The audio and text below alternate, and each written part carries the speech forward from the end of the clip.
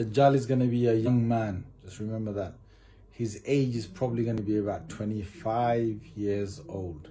And he's going to have a lot of young followers. In fact, the hadith say that he goes to a particular country and he orders the gold and the treasures to come out of the ground. And imagine that the treasures come out and they follow him like bees to pollen.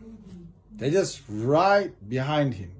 Imagine the youth are going to be crazy for Dajjal because this is the new star. He's got the power, he's got the clout, he's got the youth to him, he's got the trend.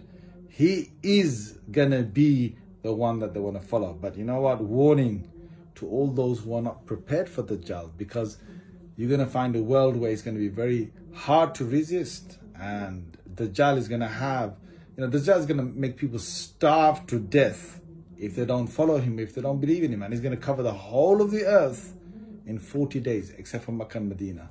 Whole of the earth in 40 days. There's no place to hide except by reading part of Surah Kahf. But imagine this, he's a youngster and he takes a lot of young people with him astray. May Allah Azza protect us. Ameen.